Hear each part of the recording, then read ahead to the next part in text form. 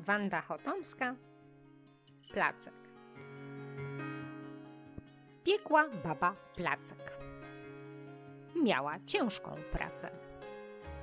Chociaż miała chłopa w domu, ani trochę jej nie pomógł. Narąbała drew na opał, a on Coca-Colę żłopał. Rozpaliła ogień duży, a on fajkę sobie kurzył. Przytargała worek mąki, a on tylko zbijał bąki. Wbiła w mąkę jajek kopę.